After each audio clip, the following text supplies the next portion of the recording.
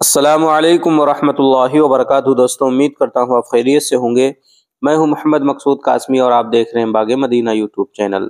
मरूफ बरतानवी company empire सिनियाज limited ने सऊदी अरब के सबसे मुक़दस और पैगंबर इस्लाम, उनके पाक शहर मदीना मनवरा में अपने पहले मल्टीप्लेक्स सिनेमा घर का अफ्ताह कर दिया है। अरब न्यूज़ के मुताबिक मदीना के अर्राशिद मॉल में खुलने वाले इस सिनेमा घर में दस स्क्रीनें, सात सौ चौवन नशिस्तें और बच्चों के लिए थिएटर और खेल की जगह की सहूलत मौजूद है। वाजह है कि सऊदी अरब इन दिनों शिद्दत पसंदाना रवैया इख्तियार किए हुए है और रोशन ख्याली की अपनी तशरी के मुताबिक असलाहत के नाम से मुल्क में कुछ इस तरह की तब्दीलियाँ मुतारफ़ करा रहा है, जिनके बायस इस्लाम और वही की सरजमीन पर इस्लाम ही अजनबी बनकर रह गया है। ये सऊदी अरब में इस कंपनी के जेर इंतज़ाम चलने वाला दसवां सिनेमा घर है।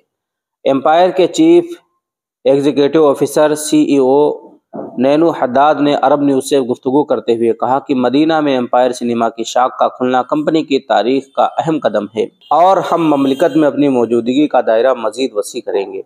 उन्होंने कहा कि यह इंतहाई जदीद स्टेट ऑफ़ द आर्ट आलात से लेस सिनेमा घर न सिर्फ़ मदीना के रिहाइशों और सयाहों को ताज़ा तरीन फ़िल्में देखने का मौका फराहम करेगा, बल्कि ये सऊदी हुकूमत के शोबे को फ़रोग देने के विज़न से भी बिल्कुल हम आहंग है। ममलिकत ने हालिया चंद बरसों में इंटरटेनमेंट के शोबे को फ़रोग देने के लिए बड़े पैमाने पर सरमाकारी की है। रवा बरस मई में हुकूमत ने किन्स फ़िल्म फेस्टिवल के दौरान फ़िल्म साजी के शोबे के लिए 100 मिलियन डॉलर के फंड्स का ऐलान भी किया था।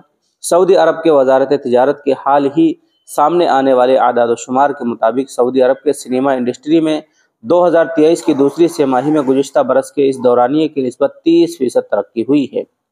मदीना मल्टीप्लेक्स सऊदी अरब में रवा बरस खुलने वाला दूसरा सिनेमाघर है। इससे कबल रियाज में इस कंपनी ने सिनेमा घर का अफ्ताह किया था।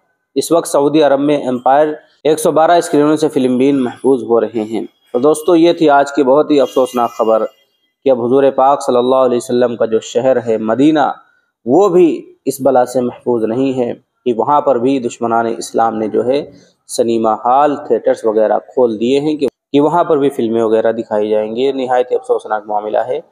अब आप हजरात का इसके मुतालिक क्या कहना है, नीचे कमेंट कीजिए। पहली बार चैनल पर आएँ, सब्सक्राइब भी कर सकते हैं। चलिए दोस्तों, फिर मिलते हैं इंशाल्लाह जल्दी किसी नए वीडियो में, किसी नए टॉपिक के साथ। अस्सलाम वालेकुम रहमतुल्लाहि व बरकातहू